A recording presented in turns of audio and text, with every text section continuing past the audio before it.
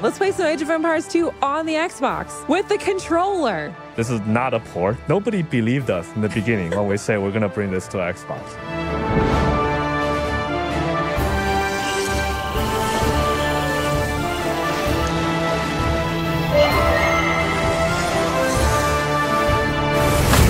Everyone is excited for the matches and having a good time. It's so special seeing the faces behind the nicknames, but it's all about, right? It motivates you to go back home and play the game as well.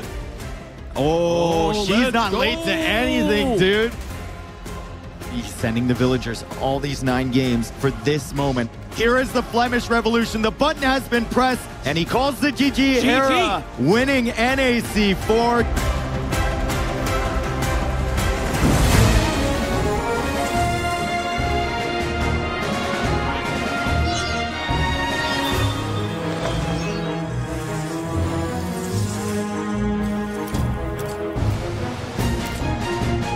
There are those among us who still believe in Rome.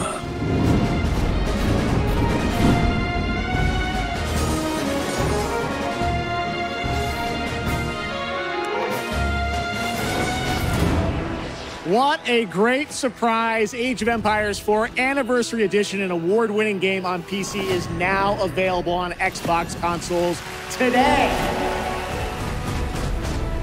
We knew that it was important to bring RTS and Age to as many people as possible.